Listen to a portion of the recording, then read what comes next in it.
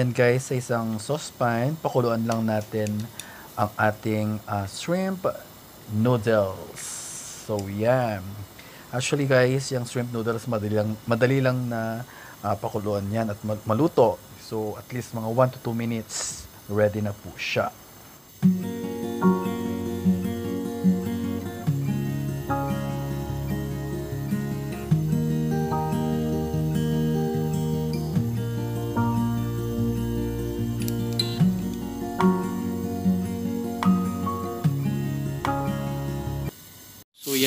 ah, pag ah, naluto, i-drain na po natin at hugasan ng malamig na tubig.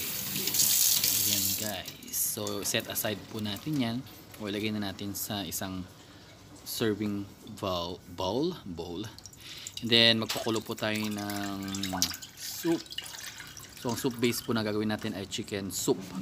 So yan, mga isang bowl or more than ah, bowl. One bowl na ano, chicken soup. So, hayaan lang po natin kumulo ng kumulo. Yan, wait lang ng wait hanggang kumulo. Tapos, pagkatapos ah, kumulo, pag kumulo na, ilagay na po natin yung gusto nating balls. Beef balls, fish balls, shrimp balls. Bahala na po kayo kung anong klaseng balls ang gusto po natin. So, yan. Pakuluan lang po natin. So, after yan, siguro yung mga 1 minute siguro, tapos na yan. Ah, I mean, luto na yung mga balls. Ayan, kumukulo na. Kumukulo na rin si kumura ko. Ayan guys, so after naman yan, ilagay na natin ang ano yan? Gulay. Kahit anong gulay like, pwede natin ilagay dyan guys. Ayan. So nagkamali ako, sorry for that. Ayan. Balik natin. Ayan.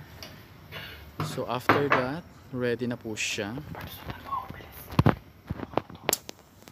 Um, sorry sa editing. Napaka-poor po ng editing. may dalawang kor lang ah. But I'm working on it guys. Sorry. So yan, pag naluto na yung gulay, at ano, huwag naman masyadong overcook. So, after a minute, ready na yan. Ka? Seconds rather, after seconds rather. Okay na po siya. So, yan, ready to serve na. Almost uh,